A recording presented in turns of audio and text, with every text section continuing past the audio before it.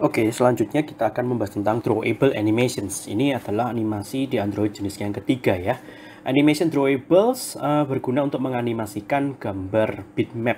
Oke, gambar bitmapnya harus kita letakkan di drawable dulu, kemudian kita animasikan menggunakan XML ya. Jadi kita daftarkan frame by frame-nya di dalam XML tersebut, nanti otomatis akan di play ya um, ketika kita masuk ke dalam image view di layout. Oke, nah Pertama-tama Anda download dulu whistle.zip dari Classroom, uh, diekstrak dan di copy paste ke drawable. Saya sudah lakukan ini. Ini ya, ada whistle 1 sampai 10. Saya copy semua.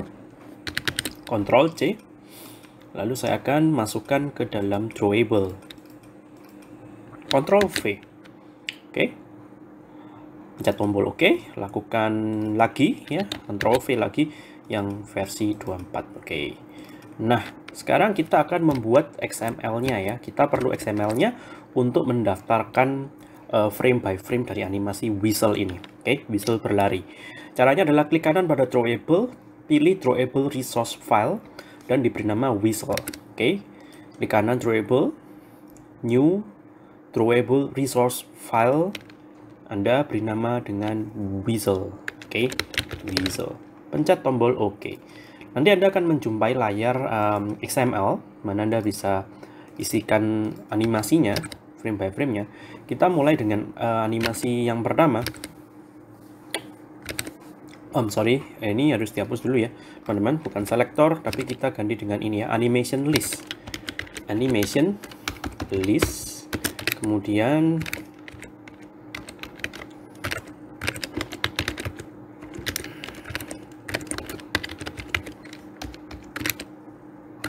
APK dan dan dan oke betul. Kemudian Android.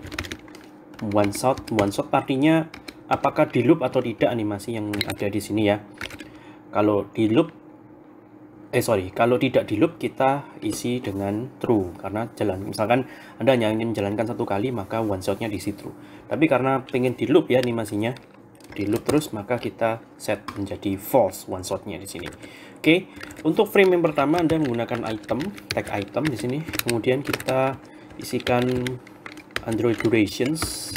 Itu Anda tahu 100 milisecond. Jadi per frame nanti akan berdurasi 100 milisecond dan untuk frame pertama kita menggunakan uh, bentar, bentar. Droid drawable. Kita akan menggunakan whistle yang pertama, drawable whistle yang pertama. Seperti ini, teman-teman ya. Jadi untuk frame pertama durasinya 100 milisecond, tampilkan whistle. Silakan di copy paste ini, Ctrl C 10 kali. Satu, ini dua, tiga, empat, lima, enam, tujuh, delapan, sembilan, dan terakhir 10. Oke. Jadi kita punya 10 frame dan kita simpan konfigurasinya ke dalam uh, animation list whistle XML ini. Okay? Nah, sekarang cara penggunaannya. Cara penggunaannya simple, Anda tinggal memasukkan sebuah image view ya. Sebuah image view kemudian uh, kita masukkan drawable whistle-nya ke dalam situ. Bukalah uh, activity main XML. Oke. Okay. Saya akan hilangkan hello world ini. Oke. Okay Oke, saya akan masukkan sebuah image view. Pilih dulu gambarnya sembarang. Misalkan whistle 1. Oke. Nah, selanjutnya Anda cantolkan ke atas, cantolkan ke kiri, dan cantolkan ke kanan. Oke. Seperti ini. Nah, saya akan beri sebuah button ke atas ke kiri dan ke kanan.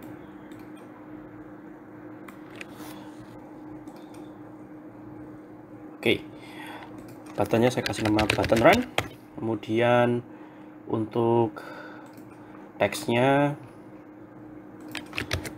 run whistle run. Oke, jadi saya mau membuat animasinya berjalan, berlari ketika saya mengklik tombol run whistle run. Oke, kemudian um, yang perlu dirubah adalah kita harus menghapus src compat di sini bukan whistle satu anda klik hapus lalu anda ganti dengan yang di background jadi yang di background anda klik tombol kecil di sini klik. Nah, Anda pilih yang Visual XML. Bukan JPEG-nya atau PNG-nya, tapi Anda pilih yang XML-nya. Ini menandakan bahwa eh, Android akan memplayback animasi whistle berdasarkan aturan yang sudah dibuat di sini ya. Urut dari 1 sampai 10, oke? Dan di loop. Nah, seperti itu. Sekarang eh, saya kasih nama dulu img whistle. Nah, oke. Okay.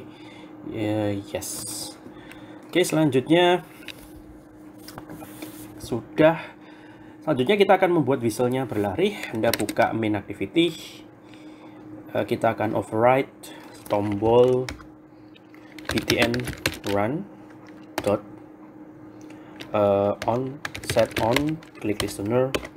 Nah, kita sudah punya nama backgroundnya ya, backgroundnya uh, sorry, nama uh, apa namanya image view-nya. Image view-nya adalah image whistle untuk ini Anda harus mengambil backgroundnya ya. Kita tidak uh, kita tidak bisa mengakses langsung image visualnya directly karena yang di set adalah backgroundnya, property background. Oke, okay? dan Anda perlu meng uh, casting menjadi animation drawable. Nah, di atas file bg sama dengan img visual dot background as animation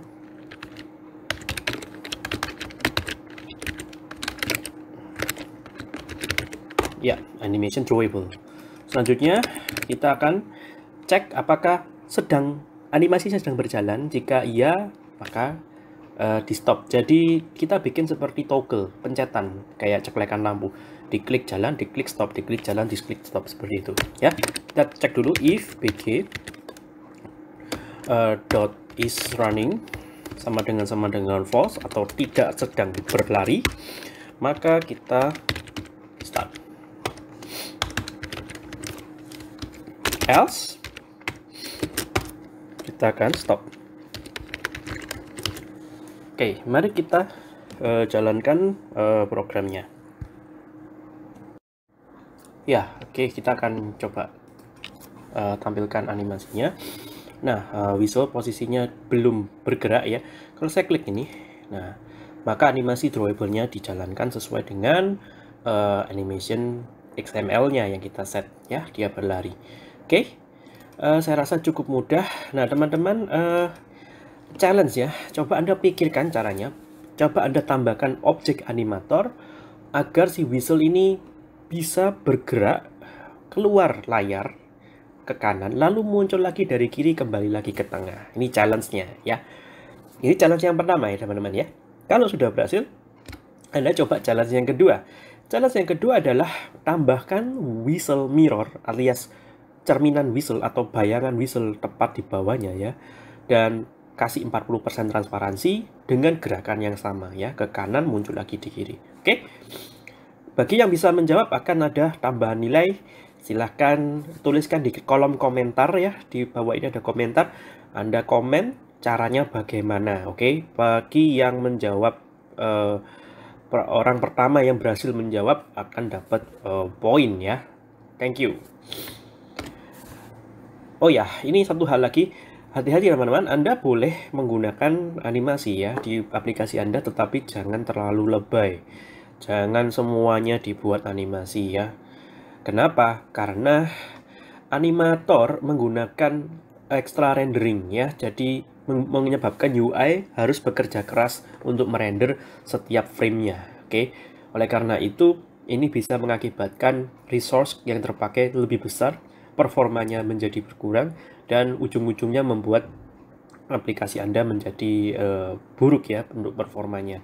Jadi artinya jangan lebay ya, jangan dipakai terlalu banyak, terlalu sering. Oke. Okay? So, uh, inilah materi week ke-7. Semoga isi uh, materi tentang Android Animation berguna untuk Anda. Thank you.